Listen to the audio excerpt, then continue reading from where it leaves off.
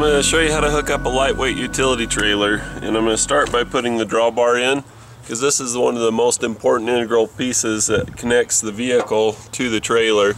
This is uh, one of the most deadly, dangerous, or whatever kind of things in hooking up a trailer is making sure that this gets put in properly. This one came from Harbor Freight and it's just my lightweight utility one. It's all set up for two inch hauling and the hole is clear up here so that it can go out past like a spare tire carrier or something like that. But then the chains don't reach. So it's been re-drilled uh, to go in far enough to where the chains can reach properly. I initially had adapted it like this and that's a big no-no because if something fails on the pin or the pin doesn't get secured properly then that leaves you no protection. The chains come out with it so I drilled it further back up here so that the chains would reach properly. We're all learning here. So you want to make sure that the pin goes in and that the clip goes in. Usually what I like to do I like to angle the back side of the pin up this way so that it gets in past this little shelf. I'll show you on the other side what that looks like. This is just kind of personal preference or keeping things clean. As I just like to have it back in here and then it leaves room for the chains. If you come back a little further, you can see it hits right there. If it's here, then it's hard to get the chains in and it interferes, so I always put mine in like that. And out of habit, I always do it from this side. So once you get a good set of habits, it's easy to be safe each time. So I'm going to stick with it and put it back where I normally would put it. So once that's in place, uh, the next thing you do is bring the trailer in place. This one, like I say, is just a lightweight utility trailer. Just put it in there. I like this style of coupler better than the flat sheet metal type that go here. I'll show you a picture. These are the kind I hate. you always have to push underneath and bang it. With these ones, it's a forward backward sliding thing instead of an up down thing. If you're putting something down on something, that's gonna move and get the I just hate them. These are easy and they're very secure.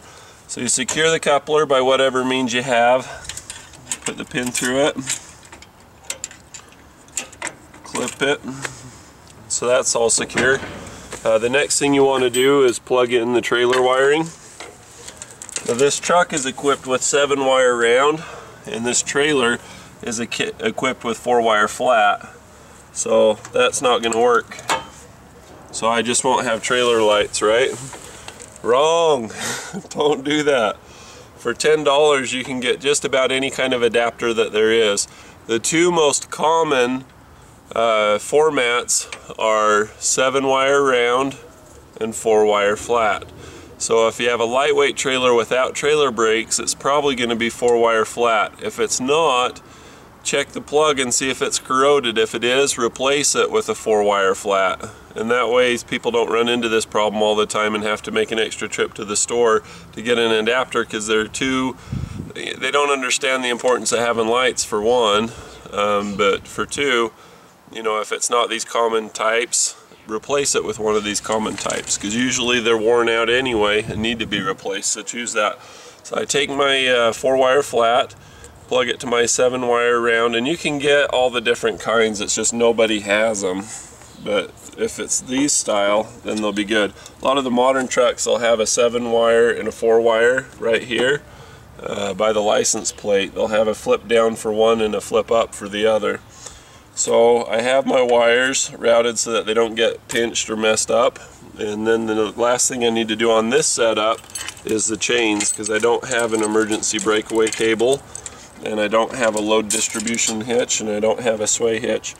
So I cross the chains and then hook them up like this so they cross underneath the coupler. This is at an angle so it looks like it's off to the side of the coupler but going down the road that would be underneath.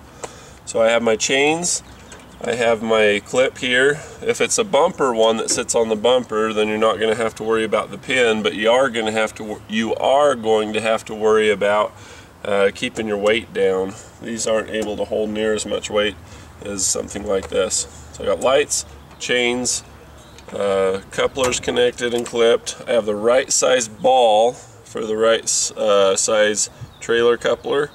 Uh, when you look on the top here it says 2 inch. When you look on the ball it says 2 inch and then I mark it 2 inch on this drawbar and leave it connected that way.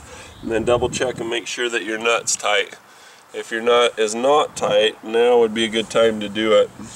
So it all looks great. So we're to go do some scrap.